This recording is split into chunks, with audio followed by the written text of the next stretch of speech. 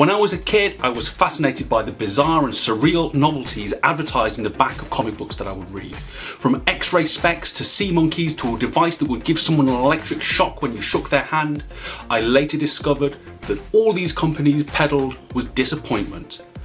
Sea monkeys aren't monkeys that live in the sea. The device that gives someone an electric shock just buzzes slightly and gives them a mild surprise. And of course, X-ray specs do not allow you to see through other people's clothes. Trust me. There was one product, however, that these companies sold that was not a bit of disappointment. It was called the Psychic Game. It sold for one year only, it worked every single time, and no one ever knew how. Inside the box is an old fashioned dice, a counter, and a series of game cards that tell you how to play the game. As you play the psychic game, an audience member makes a genuinely random choice using the ungimmicked dice.